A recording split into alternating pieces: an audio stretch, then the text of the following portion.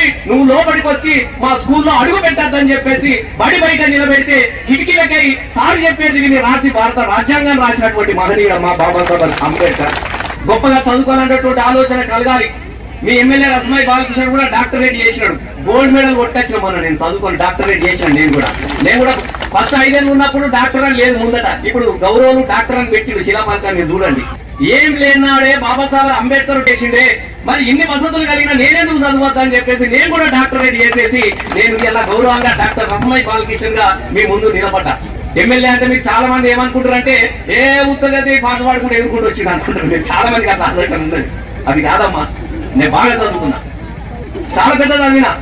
నేను వంద శాతం చెప్తా ఉన్నా. మన ముఖ్యమంత్రి గారు కూడా పెద్ద చదువుతాను నేను. మీకు అది కూడా చెప్తా ఉన్నా. ఏది అన్నకున్నా హరీష్ అన్నకన్నా అందరు కూడా నేను ఎక్కువ చదువుకున్నా. మీకు ఇప్పుడు కూడా చెప్తున్నా చదువులు. వాళ్ళు ఎవరు డాక్టరేట్ చేయలే కానీ నేను చేసిన. నేను ఒక పేద దళిత కుటుంబంలో పుట్టి ఎంఏ చదివిన ఎంపీలు చేసిన బీఈడి చదివిన ఇరవై సంవత్సరాలు పెద్ద సార్ల లాగా చదువు చెప్పిన పాడి పిల్లగాళ్ళకు.